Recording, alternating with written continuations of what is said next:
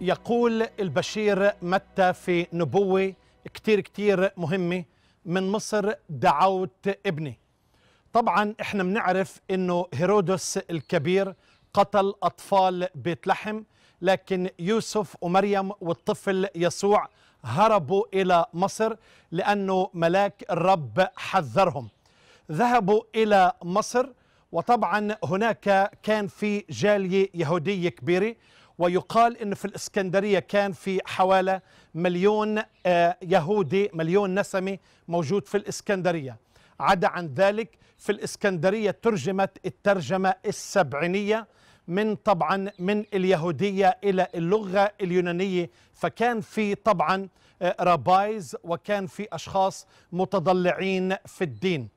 مصر كانت ملجأ سياسي واقتصادي للإسرائيليين على مر التاريخ. نقرأ مثلا عن إبراهيم هرب إلى مصر.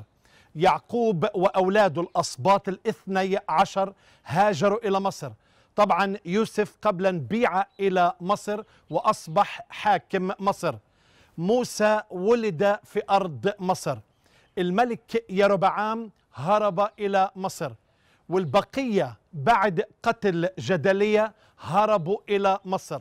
وهكذا النبي ارميا ذهب وهرب إلى مصر. أيضا آم، بنقرا عن اوريا آه، هرب إلى مصر في أيام الملك يهويقيم. ثم العائلة المقدسة يوسف ومريم والطفل يسوع هربوا إلى مصر.